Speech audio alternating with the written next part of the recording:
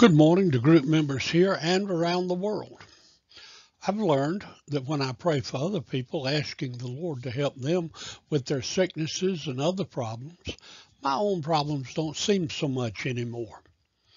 It might be good for our faithful members to go through the member list for the Sunday school group, pick a person from a state or country different from yours, send that member a friend request, and begin actively praying for them. Reach out by messenger and tell them how you're praying for them and ask them to do the same for you. And then when you have an opportunity, let me know how it goes. Now this week we're going to look at David the giant killer. We can only imagine the look of shock on the king's face. This teenager was brave enough to step onto the battlefield against a giant who had been a warrior all his life. Saul may have been trying to protect his friend David, or he may have been considering how he could save face in this terrible situation. Stick with me and learn the deep spiritual truths embedded in this epic of all battles. In the life of David, we see the picture of an unexpected warrior. David defeated a seemingly unbeatable enemy with courageous faith in God's power. This is a picture of Jesus, the greater warrior whom no one expected to win the victory over sin and death. Through Jesus' death and resurrection, God is mighty to save. Because we've been forgiven through the power of the cross, we pursue the nations, not in judgment, but with the message of grace that all may hear the good news and be swept up into the glorious love and grace of God. God often wins the victory through unlikely heroes. This is so that all glory and honor and praise goes to him, for it is he who is indeed the warrior's army, armor. In his letter to the Ephesians, Paul speaks of the breastplate of righteousness. This is a reference to the writings of Isaiah, who said, He who departs from evil makes himself a prey. Then the Lord saw it, and it displeased him that there was no justice. He saw that there was no man and wondered that there was no intercessor. Therefore, his own arm brought salvation for him, and his own righteousness, it sustained him. For he put on righteousness as a breastplate and a helmet of salvation on his head. He put on the garments of vengeance for clothing and was clad with zeal as a cloak. Isaiah 59, 15 through 17. Isaiah's writing was a prophecy picturing our great King and Savior, Jesus Christ. But I can't help think, but think old Isaiah might have been thinking about how David rejected Saul's armor. When we last saw David, he had been anointed king by Samuel and entered the personal service of King Saul. Today's passage focuses on the contest between David and Goliath. Not many years could have passed between David's anointing and this narrative because he was still not old enough to be considered for service in Saul's army. Some Bible scholars put David's anointing at age 10 to 12 and his battle against Goliath at age 15 to 17. In those five intervening years, teenage David had gone from sitting in the field with sheep to facing down the most feared enemy in the land. Growing up is indeed a tough situation. What are some ways you've witnessed teenagers revealing courage, confidence, or wisdom beyond their years? The teenage years are different for everyone, but rarely are they boring regardless of your family situation or your hometown, You changed from a child into an adult in those years. As we consider David today, let's imagine ourselves in his shoes, knowing his eventual calling, struggling with respect from his family, serving a king with a tormenting spirit, all encompassed with the bravado and and still silliness that accompany normal teenage years. Jesse was a proud father, knowing his son would be king, but he probably prayed with all his might that the youngster would actually live to adulthood. Point one of today's lesson talks about the future King David arriving as an unlikely hero. Let's read together 1 Samuel 17, verses 16 through 17, verses 22 through 24, and then verses 32 through 33. We'll read them all together. For 40 days the Philistine came forward and took his stand morning and evening.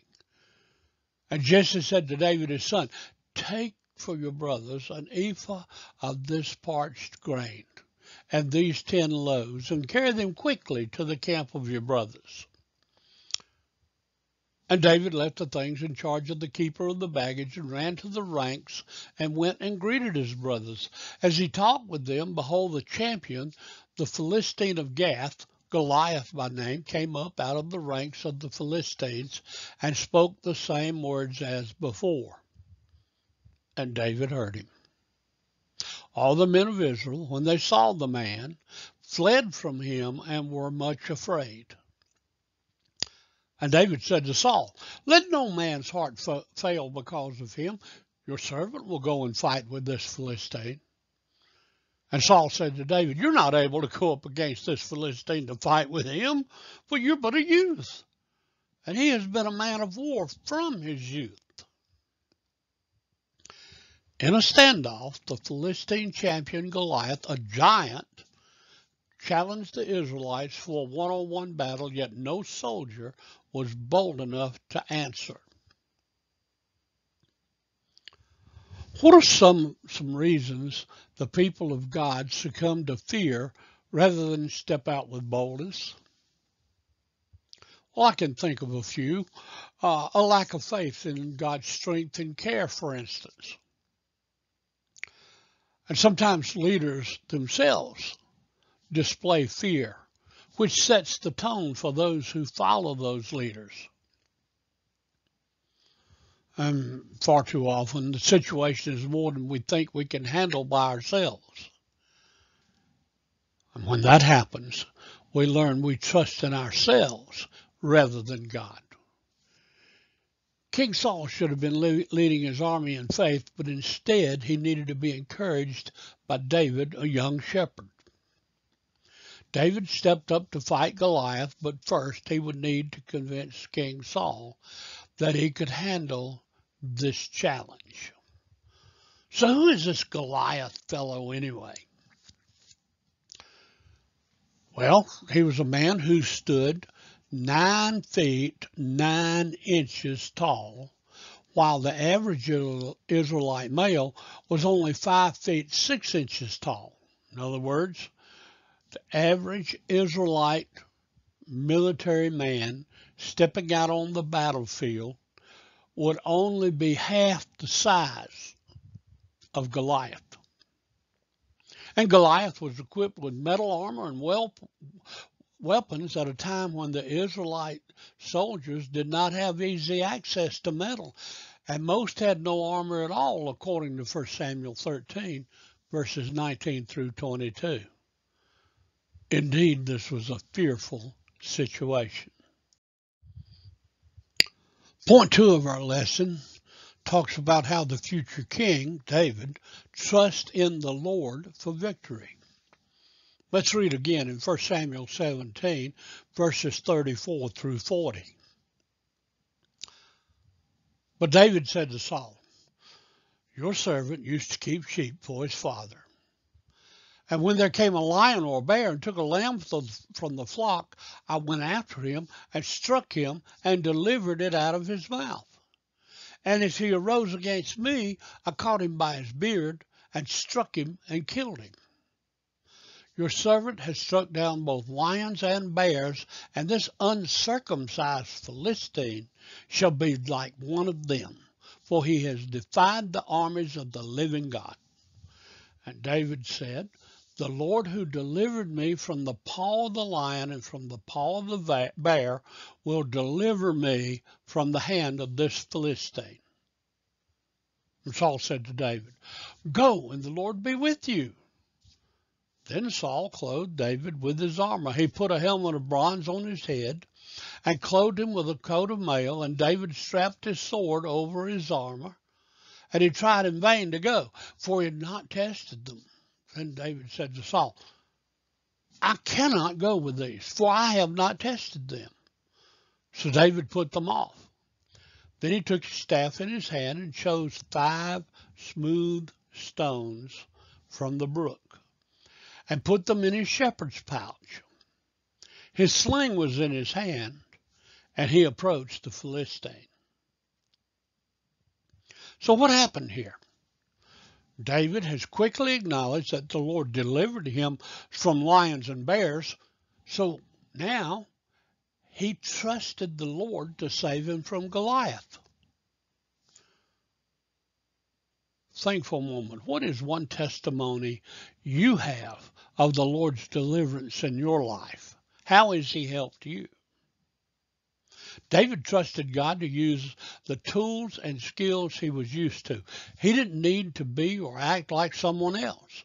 David needed to be the person the Lord had made him to be. David was confident in his abilities because he trusted the Lord, so he walked out with his five smooth stones and a sling. What would happen when this teenage boy stepped into the battle arena with the most feared warrior his people had ever known? Every eye was on David. Would he cave or would he shine under the pressure?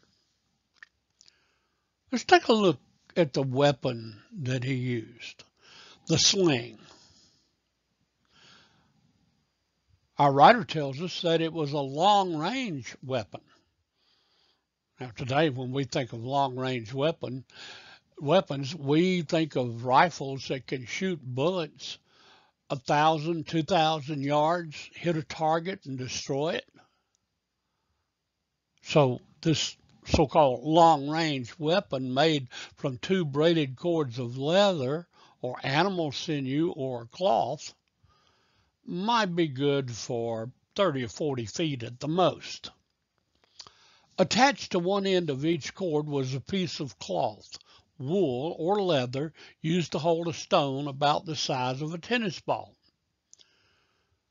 The sling was spun horizontally or vertically. Then one cord was released, ejecting the projectile. Upon impact, the stone could disarm weapons, break bones, cause a concussion, or even kill the target.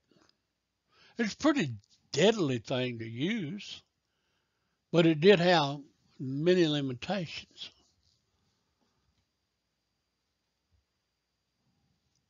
Henry Blackaby, a modern day theologian, says this The account of David and Goliath vividly pictures the source of the Christian's faith. It's not our own size. It's not our own strength. It's not our resources, but the power of Almighty God. In those five little stones, David selected one. God put all of God's power in that stone. He gave David all the power he needed to sling that stone at Goliath. And as accurate as David might have been on his own, God guided that missile right to the head of the giant. God, through David, did the work. Now we come to point three, where we see that the future King David wins the victory for his people. Let's read together now 1 Samuel chapter 17, verses 45 through 51. David has come onto the battlefield and he stands before the Philistine and he said to him, You come to me with a sword and a spear and with a javelin, but I come to you in the name of the Lord of hosts, the God of the armies of Israel, whom you have defied. This day the Lord will deliver you into my hand, and I will strike you down and cut off your head. And I will give the dead bodies of the host of the Philistines this day to the birds of the air and to the wild beasts of the earth, that all the earth may know there is a God in Israel. And that all this assembly may know that the Lord saves not with the sword and spear, for the battle is the Lord's, and he will give you into our hand. When the Philistine arose and came and drew near to meet David, David ran quickly toward the battle line to meet the Philistine. David put his hand in his bag and took out a stone and slung it and struck the Philistine on his forehead. The stone sank into Goliath's forehead, and he fell on his face to the ground. So David prevailed over the Philistine with a sling and with a stone, and struck the Philistine and killed him. There was no sword in the hand of David. Then David ran and stood over the Philistine and took Goliath's sword and drew it out of its sheath and killed him and cut off his head with it. When the Philistines saw that their champion was dead, they fled. Even though Goliath was bigger and stronger and more experienced, David was confident in God's power to and purpose to save David for his glory. This is a good place to consider essential doctrine number 56, the exaltation of Christ where the death of Christ was the ultimate example of his humiliation. The resurrection of Christ from the dead is the first and glorious example of Christ's exaltation. Christ was exalted when God raised him from the dead, and Christ was exalted when he ascended to the Father's right hand, and he will be exalted by all creation when he returns. All these aspects work together to magnify the glory and worth of Christ, resulting in the praise of the glory of His grace in rescuing sinners. Consider David's victories and Jesus' victories. And look and see what are some parallels you see between the two. When I look, I see an unexpected, unconventional victory. David wasn't expected to kill Goliath, and Jesus wasn't expected to, to defeat Satan. But both did their respective, both achieved their respective victories. And how? Both of them, David and Jesus, trusted God the Father to save. And then the final defeat of Goliath by David was when David cut his head off with Goliath's own sword. The weapon of Satan, the thing that was supposed to finish Jesus for good, was the cross on Calvary. And the cross on Calvary became the altar upon which Jesus sacrificed himself to atone for our sins. What a victory. And then David, very shortly thereafter, ascended to the throne as king of Israel. And someday soon, we don't know when, but someday, Jesus is going to return and he's going to ascend to his throne in Jerusalem as king of the kingdom of heaven. All right, let's see if we can apply this lesson we've learned today. Because we've been forgiven through the power of the cross, we pursue the nations not in judgment, but with the message of grace, that all may hear the good news and be swept up into the glorious love and grace of God. First of all, we have to understand, we have to have a head knowledge. The story of David and Goliath is not a call for believers in Christ to destroy our earthly enemies, but to remember, here's a spiritual application, but to remember that we do not wrestle against flesh and blood, but against the rulers, against the authorities, against the cosmic powers over this present darkness, against the spiritual forces of evil in the heavenly places, according to Paul the Apostle in Ephesians 6 12. The battle is real, but we walk in the strength of the Lord and the full armor of God the full armor of our God, truth, righteousness, peace, faith, God's word, and prayer. The world may ridicule our seemingly powerless armor, but we find comfort and confidence in the weapons God has provided us for resisting the devil and proclaiming the gospel. So, what are you doing to equip yourself for the spiritual battles that come your way on earth? And then, of course, there has to be the heart application. Sometimes we feel alone in our battles, but that's what the prayers of the that's where the prayers of the saints lift us up. After expounding on the full armor of God, Paul wrote this, "Pray also for me, that words may be given to me in opening my mouth to proclaim the gospel for which I am an ambassador in change, that I may declare it boldly as I ought to speak. Ephesians 6, 19 through 20. The Lord gives each of us fellow warriors to hold us up in prayer in speaking truth and in trusting Him for the outcome. And related to that, I covet your prayers please do that for me every day. Where should you acknowledge your need for the prayers and help of others? Who, uh, what, what prayer, in other words, simply stated, what prayer request do you need to make known so that others can pray for you? And then, of course, the work of our hands. We need to apply the work of our hands. No one expects to wake up uh, as a world class athlete. It takes a lot of training and practice. In a like manner, we should not expect tomorrow to wake up as a warrior of the faith. This too takes time, commitment, and practice.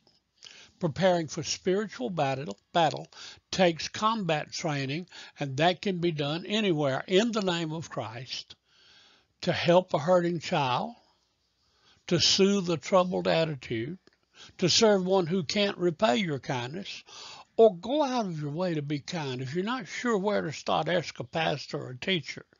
Ask a deacon in your church for a place to serve.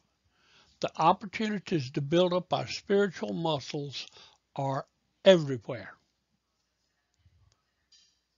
So, what opportunities will you have this week to trust God as you obey Him? Dirk Phillips, who lived from 1504 to 1568, says this Our spiritual David, Jesus Christ, in his divine righteousness has taken away our sin and slew death with his eternal life. That is the joyous gospel with which the Holy Spirit comforts all repentant and troubled hearts. Heavenly Father, Lead us to serve you with gladness of heart, trusting you to bring us to victory in all things you call us to do. We pray this in the name of Christ Jesus, our Lord and Savior. Amen.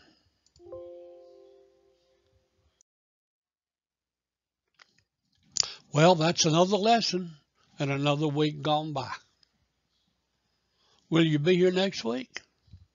Please come back and when you do, we'll study a, uh, we'll study some more about David, the faithful king. God promised David that future kings of Israel would come from his family and that his kingdom would endure forever.